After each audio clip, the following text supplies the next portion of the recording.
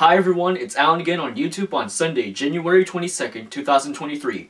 I have something short to say on this video. Happy Lunar New Year and Happy Chinese New Year too. 2023 marks the year of the rabbit. Celebrate the Chinese New Year and see the dragon or lion dance if you want. I'll see the dragon dance in Dallas this Friday. And that's all for what I can say something short in this video. This is Allen signing off. Have a great day and be safe.